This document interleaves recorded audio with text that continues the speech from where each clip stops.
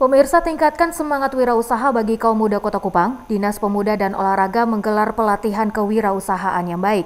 Pelatihan ini juga memotivasi generasi muda untuk mau berwirausaha. Puluhan pelaku usaha menengah mengikuti kegiatan sosialisasi peran kewirausahaan di Aula Rumah Jabatan Wali Kota Kupang. Peserta yang mengikuti pelatihan nampak serius mendengar para pemateri menyampaikan pemaparan.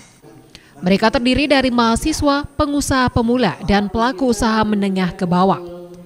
Salah satu mahasiswa mengaku pelatihan ini memberikan kepercayaan diri baginya dalam berwirausaha.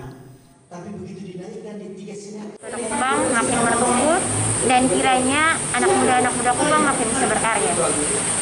Harapan ke depannya? Harapan ke depannya kalau untuk saya pribadi, saya harap saya bisa memulai usaha saya sendiri dan mencapai target sukses saya dan kalau harapan di Kota Kupang agar kita makin percaya diri dalam berwirausaha. Kepala Dinas Pemuda dan Olahraga mengatakan dengan adanya pelatihan ini akan membuat muda Kota Kupang lebih fokus, mau bekerja dan tidak malu dalam mengembangkan usahanya.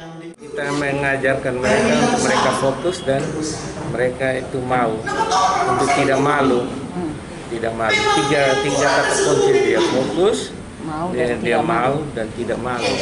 Kadang orang tidak fokus menentukan sikap mereka fokus untuk uh, memilih keterampilan apa.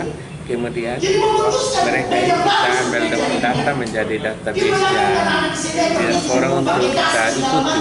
Jadi jadi tidak lagi nanti lepas tapi kita ikuti.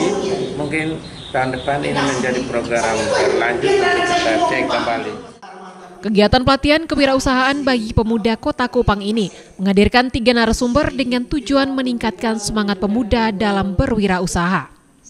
Dari Kupang, Eman Suni, tim iNews melaporkan.